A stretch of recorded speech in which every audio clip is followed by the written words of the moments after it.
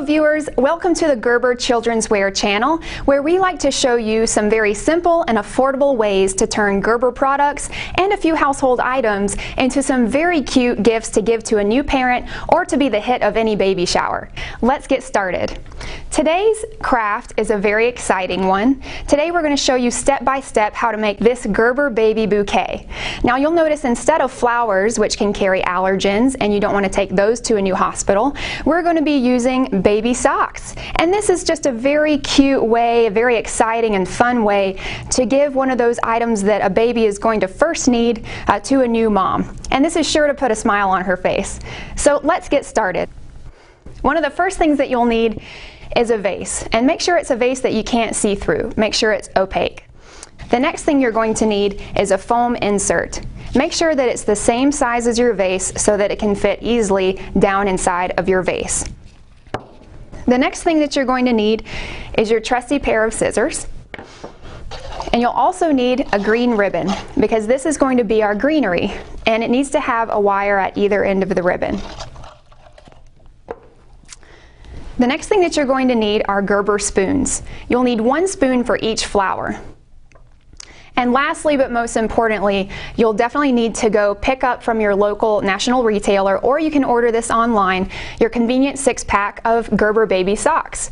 Now, these come in a variety of different colors, so feel free to customize your bouquet based on uh, maybe the baby's gender, a sports team, or even the colors of the nursery.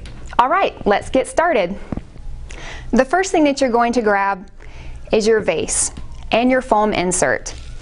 Just put the foam insert straight down into the vase, like so. Set it to the side. The next thing you're going to grab is your first pair of baby socks.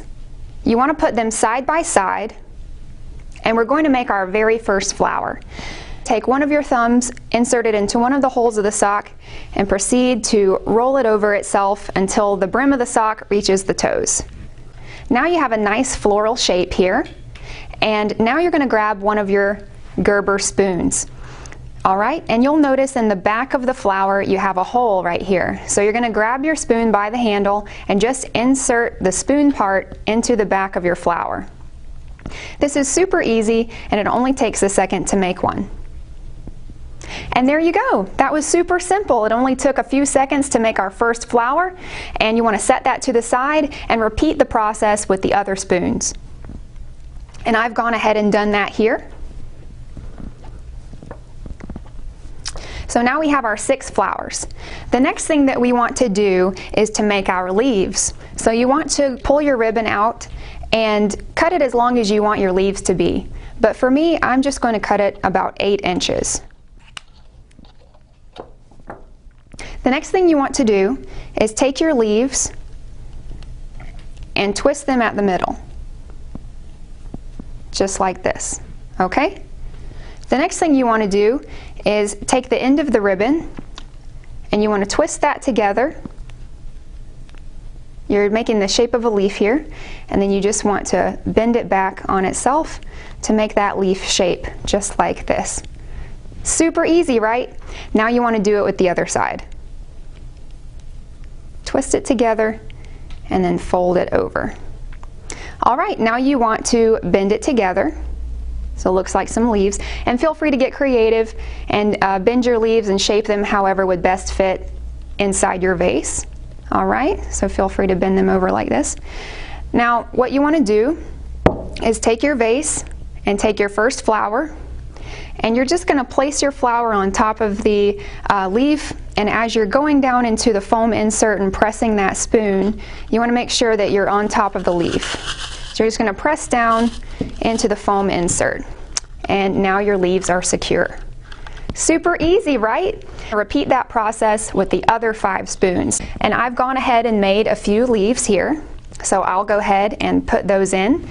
I like to put about four leaves in my bouquet and I like to put five flowers around the outside of the vase and one right in the middle.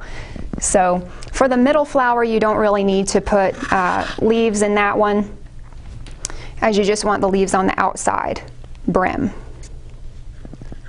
All right, I'm going to put these leaves in this side here. All right, you can see how those look there. And now we're just going to put our very last two flowers on this side. And this is our last leaf over here. Put that down in there. All right. And if you want to add another leaf, it's not a crime. All right. And there we go. That didn't take too long at all, did it? And look how awesome that looks. There are so many different ways to customize your bouquet, so we've made a couple other options just to give you some more ideas. And if you would like to wrap a ribbon around your vase, that's a very simple way to dress it up as well. Well, thank you so much for watching, and we've really loved making this video for you. Join us next time at Gerber Childrenswear. Bye-bye.